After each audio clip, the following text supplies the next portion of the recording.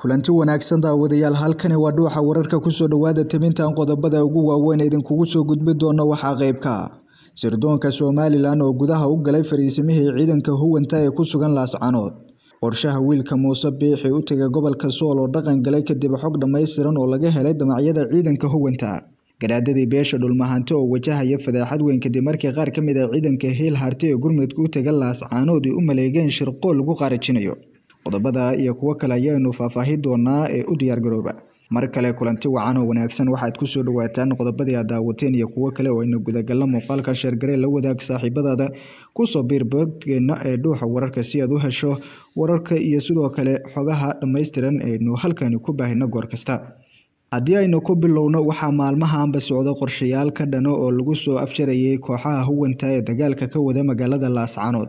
maalmo uu ku jira haka dagaalka ay wadeen ciidanka qaranka somalilan ayaa bedelkeeda waxaa la diray sirdoonkii ugu badnaa oo gudaha u galay fariisimaha ciidanka huwanta ee ku sugan laascaanood ciidanka sirdoonka ah ayaa halkaasi u taga basaasnimo waxayna heleen xogihii ugu dambeeyey qaabka ay qorsheynayaan iyo damaca ciidamada huwanta ee qaarkood argixisada ah ee ku sugan laascaanood taas bedelkeedana haatan la keenay taliska gooja cadde iyadoo la dejiyay shax kale oo lagu soo afmeeraya dhinacyadaasi. Shakhsiyaadka sirdoonka somalilan ka socda ayaa u suurto gashay in dhammaanba ay gudaha u galaan xarumaha lagu gargooyo dagaalada ka socda magaaladaasi dhinacyada abaabulka wado iyo ciidanka gurmadka kala duwan ku soo gaaray laascaanood qorshayaashooda iyo damaca ay doonayaan xilligani ciidamadan ayaa xusay in ay haatan qorshaha ugu weyn ee kooxahan huwanta ay ka leeyihiin ay tahay dagaalka laascaanood sumcad xumeynta magaca somalilan iyo in ay wax u dhibaan jiritaanka qarankaasi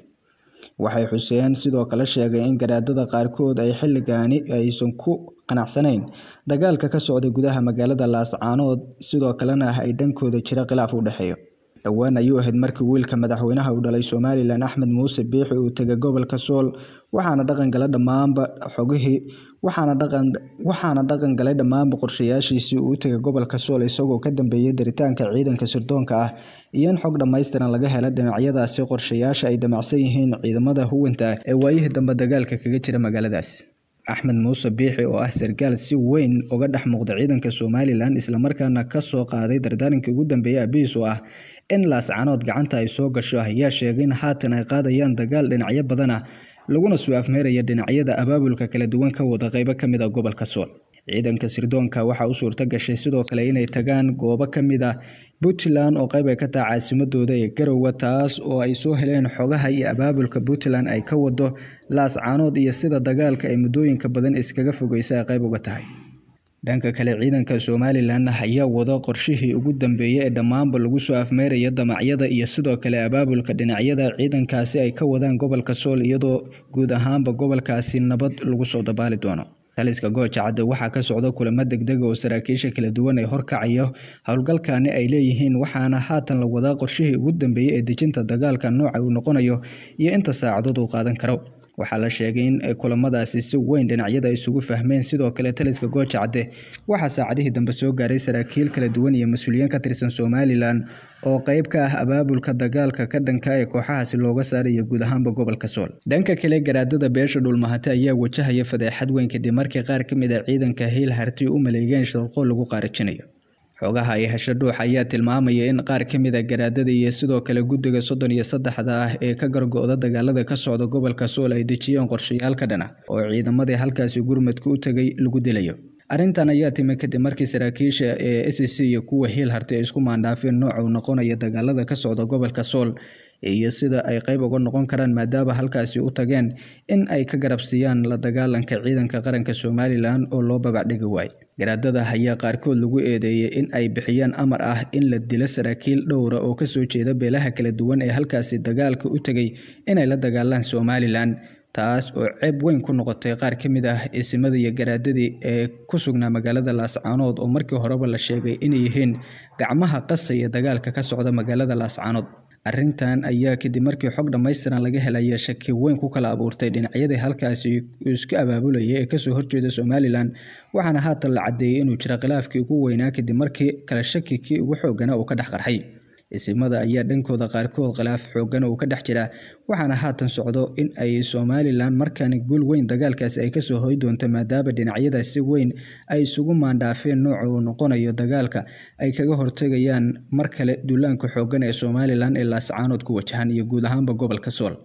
xaalada guud ee s c iyo sidoo kale hiil harti ciidankooda ayaa la sheegaya in aad ay ugu adag tahay waxaana qaarkood ay baneeyeen saldhigyo iyo xarumo muhiima oo ay ku sugnaayeen saacadihii dambe iyagoo culayskii ugu xooganaa la dul saaray. Garaadada a c c ayaa tiro dhowr jeer waxa ay ku eedeeyeen somalilan in ay qayb ka tahay dadka abaabulaya nabadgelyo darada ka jirta gobolka sool iyadoo ugu dambeyntii si weyn ayaga loogu dhaleeceeyey in ay diideen nabad qaadasho iyo in xasilooni gobolkaasi lagu soo dabaalo madaxweynaha somalilan oo waayihii dambeba kulamo kala duwan la qaadanayay mas'uuliyiin ka socota beesha caalamka ayaa ugu dambeyntii la isla gartay in arinta laascaanood la soo gabangabeeyo iyadoo dhammaanba ciidanka duulaanka ku soo qaada gobolka laga saarayo somalilan markani waxay dejiso tabtii ugu dambeysay ee lagu soo ganaanudayo dagaalka muddada ka socday laascaanood iyadoo haatan ay socoto abaabul xoogan iyo kulamo aan kala joogsi lahayn oo ka socda taliska goojacde waxaana heegan buuxa la geliyay dhammaanba ciidanka somalilan. Saraakiisha hogaaminaysa ayaana xuseyn saacadaha soo aadan ay qaadi doonaan howlgalkii ugu xooganaa oo guud ahaan gobolkaasi. Lagu soo afmeeraya xisadihii ka taagnaa iskhilaafka ka dhex qarxay saraakiisha qaar ka mid a s c iyo kuwa heel harti maandhaafka ka dhex jira garaadada ayaana somalilan xilligani si weyn uga gacan siinaya in ay guul weyn ka gaarto gulufka xoogan iyo dagaalada ay u qorsheysay in gobolka sool dhammaan nabad lagu soo xasiliyo waxaa bartilmaameed u ah ciidanka somalilan oo howlgalkii ugu xooganaa la bixiyo xogaha dhammaystiran oo ay bixiyeen ciidanka sirdoonka ah waayihii dambeba ku dhex maqnaa s c iyo puntland keenana xogtii ugu dambeysay dagaalkaas qaabka ay u qorsheeyeen iyo nooc ay kaga hortegayaan gulufka xoogan iyo dagaalka ay ku wajahaysa but somalilan guud ahaanba gobolka sool saacadaha soo aadan waxaa la filayaa dhankooda in kulan degdega ay yeeshaan xubnaha golaha wasiirada somalilan oo shirgudoomin doono madaxweynaha somalilan iyagoo gurmad qaran u sameyn doono. Dadkii ka barakacay magaalada laascaanood oo waxweyn u dhibeen dagaalada ay garwadeenka ka yihiin waxgaradka gobolka sool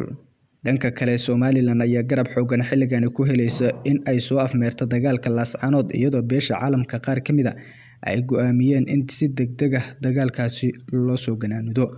fadhiga golaha wasiirada uu shirgudoomi doonaan madaxweynaha somalilan iyo ku-xigeenkiisa ayaa sidoo kale waxaa looga doodi doonaa dagaalada laascaanood iyo in ciidamada amar degdega lagu duldhiga soo afmeerida guud ahaanba dagaalka muddooyinka ka socday magaaladaasi xaaladda laascaanood ayaa u muuqatay in sidii hore ay ka duwanaa doonto saacadaha soo aadan iyadoo la helay dhammaanba xogihii sirdoon ee ciidanka s c iyo kuwa hiil hartay ee waayihii dambe isku aruursanaya gobolka sool. Kadib markuu kaarta militari u degay wiilka uu dhalay madaxweynaha somalilan ee muuse bixi cabdi ee howlgeliyay ciidanka sirdoonka ee dhowaana soo gaaray gobolka sool. Howlgalkan ayaa ay hormood u yahay madaxweynaha somalilan muuse bixi cabdi wiilkiisa ayaana la qorsheynaya in saacadaha soo aadan uu dhul ballaaran isku fidiyo. Sidoo kalena la wareegaan dhammaanba goobihii iyo talisyada ay ku sugnaayeen ciidanka s c abaabulka iyo gulufka dagaal ay ka wadeen. Guud ahaan inta ayaan ku soo gabagabaynaynaa tabinta wararkeena aad kala socoteen janalka wararka ee dhuuxa muuqaalkan sheergaray saaxiibadada gaarsiya youtube-keena ku soo biro subskreibka saaro. Waan kaga mahad celinaynaa daawasha